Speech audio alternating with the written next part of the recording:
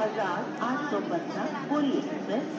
Allahabad Kanpur central के रास्ते पुरी से आने वाली अपने निर्धारित समय सत्रह बजकर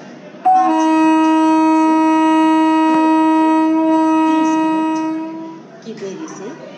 आएगी